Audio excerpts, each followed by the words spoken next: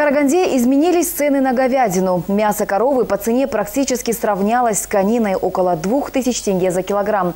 Продавцы говорят о том, что цены подняли поставщики, ссылаясь на непогоду. Дорогие корма и продолжительные метели стали причиной подорожания говядины. Во всяком случае, такое заявление делают поставщики мяса. Продавцам не остается ничего другого, как поднять розничную цену. Средняя цена по стране 1800 тенге за килограмм говядины. Лучшие куски продают и по 2000 тенге. К слову, 2000 именно столько в среднем стоит деликатесная конина. Покупателей становится все меньше, а те, кто все-таки приходит, вынужден покупать поистине драгоценное мясо мяса. Дорожает, потому что закуп дорогой. Но самое главное, сейчас все дорожает же. Ну что у нас пенсия? Ну что ж теперь делаешь? Ну жить же надо, кушать надо. Работники местных отделов признаются, что поставщики подняли закупочные цены в результате непогоды. Дороги во многие села занесены снегом, и потому, чтобы доставить мясо до города, приходится значительно потратиться.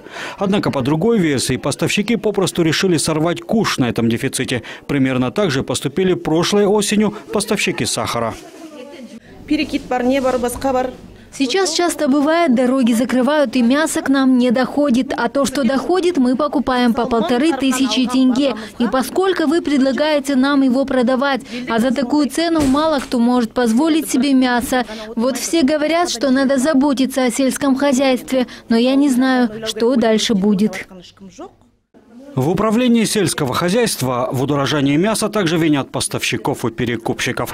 Однако повлиять на них областные чиновники не могут. Делать это должны власти на местах, считают в управлении. Вести работу по неувеличению или по стабилизации цен реализаторами мяса это невозможно. У нас каждый, э, в области имеется около 75 тысяч личных подсобных хозяйств, которые э, держат скот. Каждый, кто держит скот, они личные поголовья, естественно, продают. С ними невозможно работать. А с торговыми точками или э, рынками э, должен заниматься местный исполнительный орган города Караганды. Андрей Тенжа, Сулан Макулбеков, Андрей Тимофеев, Первый Карагандинский.